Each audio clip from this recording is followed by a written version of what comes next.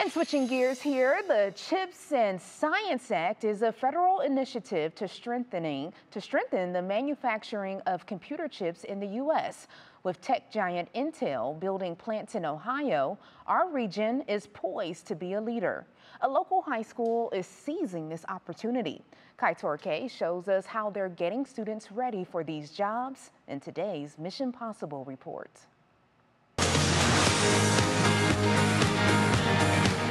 This is not your typical high school classroom. Midview High School is the very first in Ohio to have its own clean room, a place where students learn about microelectronics relating to those chips and sensors found in cell phones, cars, and other smart products. The official term is Microelectromechanical System, or MEMS. No matter what you call it, this is a career track in great demand. Everything you see in here is used in industry by most companies. So students will be able to have experience uh, with those toolings and then they go right in industry and it'll be seamless. Midview's MEMS pathway is a partnership with Intel in Lorain County Community College. It took three years of hard work to get here. First, the school's former woodshop was transformed into the clean room we see today. Teacher Kevin Gardella also needed proper accreditation while MEMS coursework was developed. Our students here that are sophomores, juniors, and seniors are working with the same exact curriculum that a college student is. A decade ago, LCCC began their MEMS program after seeing the investment industry made into the field. An investment growing locally since construction began on Intel's $20 billion plant in Licking County.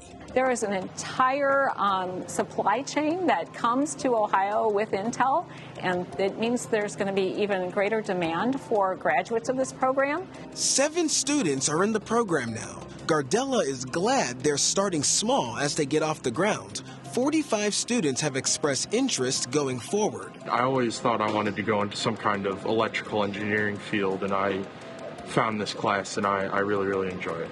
And just being able to get hands on with this and just do it now made me feel a lot more comfortable really getting into this field. While students get experience, there's more work ahead, including making this a certified clean room. We're gowning up and doing the same procedures as if it was a clean room. And then next year we're going to come in and case it and get the proper ducting and airflow and all that stuff. A unique idea that prepares students for today's jobs right out of high school. They're prepared to walk into Intel and take a job and be prepared to make six figures. Kaitor Kay, 3 News. And as Kaitor mentioned, Midview's clean room took about three years from planning to completion. Donations from Elyria-based RIDGID Tools and the Nord Family Foundation helped make the transformation possible.